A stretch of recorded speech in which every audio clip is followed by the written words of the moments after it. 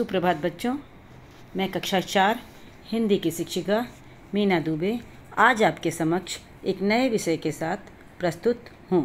बच्चों, इससे पहले आपने चित्र लेखन कहानी लेखन पत्र लेखन अनुच्छेद लेखन आदि कार्य किए हैं। आज हम करेंगे संवाद लेखन। बच्चों, यहाँ चित्र में आप देख सकते हैं, दो लोग बैठे हुए हैं और वे कुछ बातचीत कर रहे हैं। इस दूसरे चित्र में आप देखेंगे कि चार लोग बैठे हैं और वे आपस में कुछ बातें कर रहे हैं।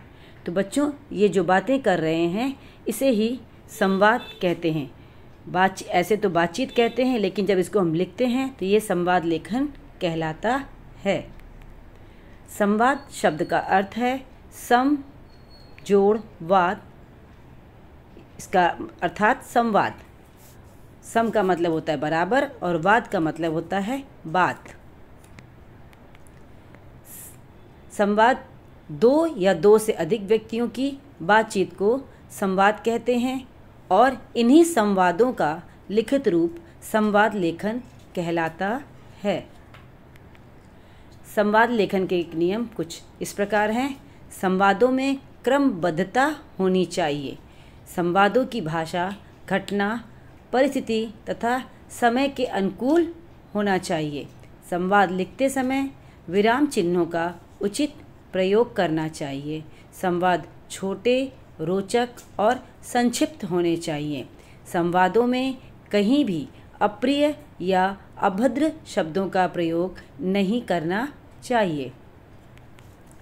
संवाद लेखन का एक उदाहरण देखिए बच्चों। विषय है यातायात के नियमों के पालन से संबंधित। दो मित्रों के बीच आपसी संवाद लिखिए। बच्चों, यहाँ आप देख सकते हैं, दो मित्र आपस में यातायात को लेकर के बातचीत कर रहे हैं। एक का नाम है रमेश और दूसरे का नाम है सुरेश।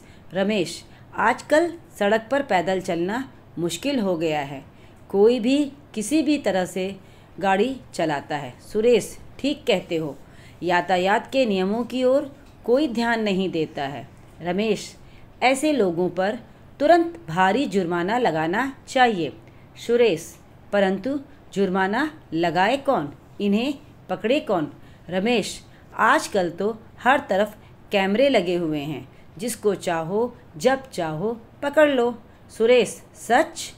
यही तरीका है यातायात के नियमों का पालन करवाने का।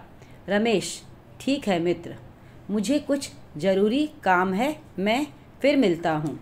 सुरेश, ठीक है मित्र, मैं भी चलता हूँ।